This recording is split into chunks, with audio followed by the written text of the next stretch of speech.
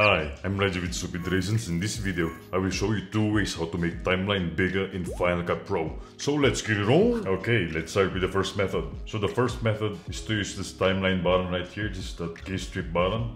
Just click it. And then you have your clip height slider right here. This is how you can make your timeline bigger. Okay? By the way, you can also adjust the appearance of your timeline by using the clip display option buttons right here. You change it to waveform only, waveform plus the preview, like so, okay?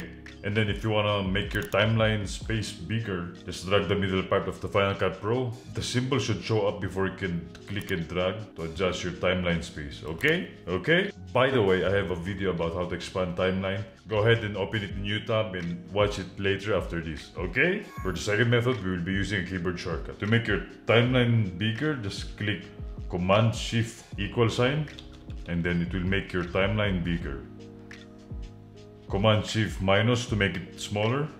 Okay, and then if you want to change the appearance of your clips, just click Control Option up arrow and down arrow.